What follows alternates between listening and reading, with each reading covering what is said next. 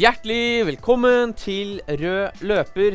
Vi er ingen produktplasseringskanal, men det er ingen tvil om at det er én ting som har preget influenseverdenen denne uka her. Og livet ditt. Livet mitt òg. Det var ufortjent. Jeg har ikke lest boka. Uh, min Insta-story. Alt jeg har sett deg gjøre, gjøre på kontoret en uke, er å sitte og bla i den boka der. Du har ikke Research. jobba en dritt. Research. Ja. Og vi trodde jo at dette skulle bygge opp til litt storm. Fordi han er veldig kritisk til mange influensere i denne boka her. ja, men jeg er overraska, eller jeg er egentlig ikke overraska, fordi som vi vet, som jobber i denne bransjen her, influ influensere er ikke så veldig glad i kritikk. Nei. De orker ikke å stå i kritikken. De Nei, vil ikke svare på det. Absolutt ikke. De nekter som regel å kommentere det, også når det gjelder boka til Mads Hansen, for der får du jo mange på det harde lag. Er det det heter? Eller glatte lag? Glatte lag.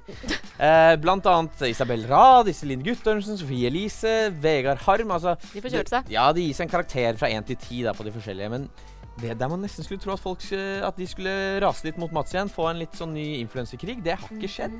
Nei. Det hører jo med til historien da at flere av disse som blir omtalt i boka, Iselin Guttormsen Ja. og Isabel Rad i hvert fall, Er på Er innspilling. på innspilling. Mm. Så tenker dere Nord begge to. Ja. Og så tror jeg også, eh, og det skjønner jeg litt, i så fall, hvis det er sant, at uh, folk er litt redd for å gå ut mot Mads Hansen nå. Fordi Ja. man vet at man blir alltid piska hardere tilbake igjen. Han er klar, han. Så jeg, jeg skjønner at det er litt skummelt å skulle liksom gå ut og brøle mot Mats. Det kan absolutt være det. Vi Ja. har jo snakket med Mats denne uka her, som alle andre medier i landet. Yes. Og han uh, gikk jo rett i boklistene, eh, topplista når det gjelder bøker denne fredagen her.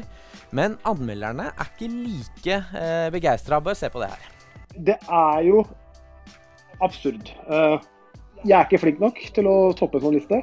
Hadde det vært en fotballkamp, så hadde det vært tidenes ran. Det er jo veldig morsomt, da. Jeg skal ikke prøve å jåle meg til å si noe annet. Du selger jo bøker som hakka møkk, men anmelderne er jo ikke helt eh, overbevist. Anmelderne er uenig. Eh, VG ga firer, som jeg syns var ryddig. Jeg syns teksten tilsa egentlig bedre enn en firer, men den var ryddig på saklig. Aftenposten-anmelder har anmeldt Mats Hansen og ikke boka Min Insta-story, og ga da terningkast én, fordi han åpenbart ikke har noe sansen for meg. Direkte uproft av Aftenposten og av eh, journalisten. Det som er uproft, er at han tillegger meg intensjoner som jeg ikke har. Han skriver at eh, jeg skriver boka for å tjene penger, for å få spons, som jeg syns er veldig bakvendt i seg selv. Han kan gladelig mene om boka mi, men ikke når det ikke stemmer det han skriver. Jeg mener det er en femmer. Eh, Men så er jeg da like inhabil som anmelderen i Aftenposten. Vi har vært i kontakt med anmelderen, som ikke ønsker å kommentere kritikken fra Mats. Men han ønsker jo da Mats lykke til med neste selvbiografi. Ja, og så har vi jo også en gladnyhet til Mats. For selv om det ikke var noen tvil om at anmelderen var eh, kritisk til boka, så fant vi aldri til terningkastet én som Mats mente at de hadde gitt han. Og anmelderen bekrefter også til oss at de ikke gir terningkast i Aftenposten, så her har Mats rett og slett misforstått. Så da legger vi den død. TV 2-serien Kompani Lauritzen ble en braksuksess i vår, og nå er kjendisene som har fått den vanskelige oppgaven med å toppe den første sesongen, klare. Ja, syv menn og syv kvinner skal kjempe om å vinne dette veldig merkelige sverdet som Vinni vant i fjor. Og blant kvinnene finner vi flere NRK-profiler, faktisk. For Margrethe Rød, Faten Mahadi Al-Husseini, Kristine Danke og Vidar-Lill Berge, som for øvrig vant Paradise Hotel i 2012, har alle ledet NRK-program på TV og radio, så det er veldig hyggelig av TV 2 å slippe til disse. De har naturligvis også med en av sine egne, Siri Avlesen Østli, kjent fra bl.a. God morgen Norge, i tillegg til forfatter og brusblogger Linnea Myhre og Eurovision-vinner Ulrikke Brandstorp. Ja, I år som i fjor så har de tatt med mindre kjente og profilerte ansikter, og det liker vi jo godt. Ja, og ikke minst er jo alle mellom 24 og 43 år, så ingen pensjonister får være med her. Nei da. Og av gutter så har vi komiker og skuespiller Jakob Skøyen og Edvard Schultheis, bl.a. kjent fra Himmelblå på NRK. Denne fyren her gjør også comeback i rampelyset. Godeste Carl Martin Eggesbø, aka Skam-Eskil, skal være med. Håvard Tjora har tidligere hjulpet ungdommer med å gjøre det bedre på skolen i TV-serien Blanke ark. Nå er det han som skal disiplineres. Det samme skal Vegard Harm og Morten Hegseth. Hvem tror du kom lengst? Jeg tror faktisk at Vegard kan imponere litt her. Ja, nettopp. Eh, Personlig så tror jeg at den siste deltakeren her, eh, tidligere fotballspiller og entertainer Bernt Hulsker, tar dem begge. Men det får vi bare se på i 2021. Vi måtte jo ikke veldig langt inn i høstens Paradise-sesong før Amalie og Mathias fant tonen, og ja, virkelig fant tonen. Amalie er en eh, særegen jente med mye energi, mye å bringe på bordet.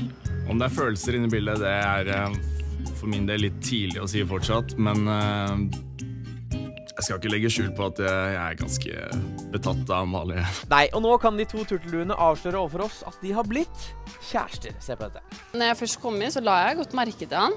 Uh, han var uh, rett og slett bare en klovn og god og snill. Nei, jeg fant meg jo en uh, liten blomst inne på hotellet der, da. Amalie. Jenta mi. Nei, vi eh, har nå eh, holdt på i et halvt år etter vi kom hjem, eh, og vi trives veldig godt sammen. Vi starta først som bare ble bedre kjent og gode venner, og så gikk det litt mer og mer, egentlig. Og så var vi en god match, da. Amalie og jeg, vi er kjærester. Og vi ble vel egentlig uoffisielt kjærester inne på hotellet. Så, men vi hadde veldig lyst til å sjekke ut hvordan det funket på utsiden også, og da passet det jo ganske greit at vi hadde et halvt år sammen i karantene når vi kom hjem. Så da lærte man å kjenne hverandre på en annen måte, da. Og vi har det utrolig bra sammen. Jeg er ingen lettrørt person, men jeg fikk oppriktig Jeg fikk ikke bare tårer i øya, jeg begynte å grine da jeg så Birgit Skarstein utføre sin første dans i Skal vi danse forrige lørdag. Og når man gjør så bra ting som det der, så dukker det jo gjerne opp frierbrev i postkassen, eller DM-en som det heter nå til dags. Så vi måtte selvfølgelig spørre Birgit. Har det blitt noe av det? Det har vært veldig gode tilbakemeldinger. Det har vært skikkelig artig, faktisk. Vi har jobba så hardt med den dansen. Men eh, har du fått eh, tilsendt noen frierbrev eller noen DMs etterpå, eller? Altså, det er jo for et kleint spørsmål. Nei, ikke svar på det. Hva er det som skal til for å sjarmere deg, da? Positive folk. Som er liksom, ser muligheter og er liksom løsningsorientert og pragmatisk og litt proaktiv, kanskje. Men hvordan er kjemien med partneren din, da? Vi har veldig god kjemi. Eh, vi er jo ganske like typer, egentlig, så det er ganske deilig å jobbe med noen som ja, egentlig klaffer så bra, da. Kan det oppstå en potensiell flørt med Philip? Nei. Han syns jeg er gammel kjerring. om dagen, for noen som sa at nå er dere så heldige, for dere slipper sånn romansrykta. for det er alle forskjell. Og så var jeg sånn Nei, men det er jo så, er det så stor? Og Philip bare Hæ? Det er elleve år. Det er ganske stor forskjell. Det må jeg godt. Ja, men da føler jeg liksom jeg har fått en liten bonusbror. Ja. Som, en ser, som ser eldre ut. En liten lillebror. Jeg er litt trist i dag. Du er det. Jeg er det. Det ser ikke sånn ut, men jeg er det. Og det er jo fordi tirsdag så ble det jo meldt at den aller siste sesongen av Keeping Up With The Kardashians blir sendt neste år. Jeg er ferdig. Det er slutt nå. Men vi må jo hedre dette fantastiske programmet med noen høydepunkter. Jeg syns det. Ja? Og vi spoler tilbake til den aller første episoden som ble sendt, av et klipp som ble til utallige memes. Nemlig Kylie Jenner, den gang ni år gammel, som kaster seg rundt på en strippestang. Look what I can do. Oh my god. oh my god. You are a future pussycat doll. Let me, Let me see that. Oh my god. Oh my god. Det morsomste er jo at eh, Kylie Jenner har uttalt at dette er den scenen hun er desidert mest flau over. Ja, det er veldig forståelig. Ja, men veldig gøy. Min favorittscene noensinne fra dette programmet er jo fra sesong tre. Når Chloé er på vei til fengsel for å sone brudd på prøvetiden etter at hun ble tatt for fyllekjøring, selvfølgelig. Og Kim Kardashian hun er jo som vanlig opptatt med helt andre ting. Were you not gonna to call me to say ta ta? What am I talking about? Your sister's going to jail. Have a little compassion. Kim, would you stop taking pictures of yourself? Your sister's going to jail. Kim Oh We need the effect of everyone on what we're doing. La det ikke være noen tvil om at Kim Kardashian leverer underholdning, og det gjorde hun også her da hun tok med sin daværende kjæreste Chris Humphries på familieferie til Bora Bora.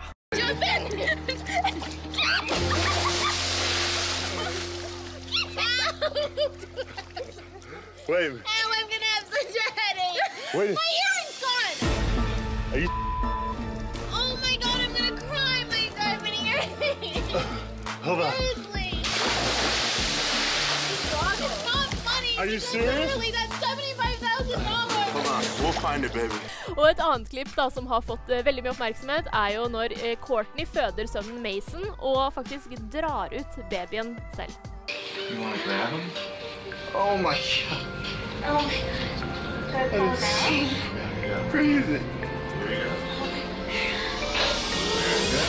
Get your boy. There he is. Oh my gosh. Det der ser faktisk ganske sjukt ut. Det er jeg veldig enig i. Mm. Eh, men vi må jo ta med en liten bonus på tampen her, nemlig bryllupet til Kim Kardashian og Chris Humphries, ekteskapet som varte i 72 dager. Ja, og jeg leste på Mirror at dette er den mest sette episoden av Keeping Up With The Kardashians gjennom tidene. Sett av over 10 millioner, stemmer det? Det stemmer, men den sykeste infoen her er jo at de tjente over 160 millioner kroner på episoden. Ja, det er enda i- sykere. Ja, og det var jo da i tillegg til publisitet da rundt bryllupet. Riktig. La oss bare si at Kim og gjengen, vi kommer til å savne dere, men jeg er ganske sikker på at eh, vi får se mer av denne gjengen her. Tviler ikke på det. I Ex and the City er vi vitne til at eh, gode gamle Mokkababe er på date med 20 år yngre Marius. Jeg elsker at vi kaller henne Mokko-babe, og ikke Monica, som, det, eh, som egentlig er navnet hennes. Eh, nå kan i hvert fall de to fortelle at de fortsatt holder koken. Og de utelukker heller ikke at det er et forhold som er på gang her. Hvem er det du er på date med? August, stakkars liten gutt. Ja, for han er liten. Han er jo en til venn. Ja. Kuk og skjønnerne. Jeg hadde en stor beachfest, så da traff jeg han, og da var det liksom sånn her wow. Nå, nå er det mye myggstykker over hele her greiene. Sånn, og, og her. Så vi flørtet veldig da, men da ble han så full, så da ble jeg litt sånn nei, nei det der orker jeg ikke. Og så traff jeg han hjem på et nachspiel hos Andreas, og så var han, han bare unnskyld, unnskyld, unnskyld. Jeg bare greit, da kan vi gå på en date. Og hvordan eh, gikk daten? Jo, det gikk superbra. Det var faktisk veldig koselig. Vi var sammen hele kvelden. Har du vært på date med en som er over 40? Nei. Altså, jeg kunne ikke gått på date med hvem som helst, for du er jo 21, sant? For meg er det litt sånn, ok, det er jo ung, sant? Nå stikker han igjen, hver for seg. Vi er det, det skjedde ingenting. De yngre, de er ut. Ja, ja, ja. Jeg merker jo det. Må jo ha noen damer med litt livserfaring. Trenger vel en sugar mama. Mellom meg og Monica er rett og slett at vi har det bra når vi møtes, men vi har ikke fått møttes så mye som vi kanskje skulle ønsket. Hvis du kan stupe skikkelig, skal du få en eh, skikkelig søster etterpå. Hun er jo en potensiell framtidig kjæreste, alder er jo bare tall, så det går bra. Yes, yes, yes. Da var det helg, og i morgen er det Skal vi danse. Ja, jeg skal lørdag. ikke jobbe. Det skal du ikke. Eh, lørdag er det første utedeltaker holdt jeg på å si, som ryker ut fra programmet. Mm. Og må forlate dansebobla, dette tette selskapet og båndene som de bygger, og de blir bestevenner og helt Kompani Lauritzen over det hele. Men jeg tror kanskje det er litt annerledes i år, fordi i fjor var de bestevenner. De får ikke henge så mye i år pga. Nei. korona. Men Jonas, du er jo glad i å tippe og bruke mye penger på sånt. Mhm. eh, hvor mye vedder du på hvem som ryker? Er du, har du en veldig tydelig som du kan eh, Nei. Jeg vedder ikke noe imot. Ikke Nei, vil du vedde du og jeg? Nei, jeg har ikke, gidder ikke å gi deg noe penger. Nei, nei, vi trenger ikke å vedde okay. om penger, men vi kan gjette. Ja, ok. Vi kan vedde om eh, Nei, det, jeg angrer, for den kjærligheten her skal jeg spise etterpå. Så. Ja, jeg får ikke den nå på lørdag uansett. Nei. Men jeg tenker at vi på 1, 2, 3 sier hvem vi tror ryker ut, og så får den andre heller bare spise ordene sine og gi en offentlig beklagelse til seerne våre og til den andre personen neste uke. OK? Ok. Én, to, tre. Fred Thomas Buljo. Hæ? Thomas Alsgaard? Han er min favoritt til å vinne hele dritten. Han er så søt. Ja. Men veldig, han var jo stiv, men Han- så søt. Jeg har aldri sett noe søtere. Jeg gleder meg fryktelig til eh, Kines offentlige beklagelse neste uke. Så får dere gjøre opp deres mening om hvem som ryker ut. Kan, Ja. Mest sannsynlig tar begge oss feil. Ja, det kan godt hende. Inntil da så ses vi neste uke. God helg.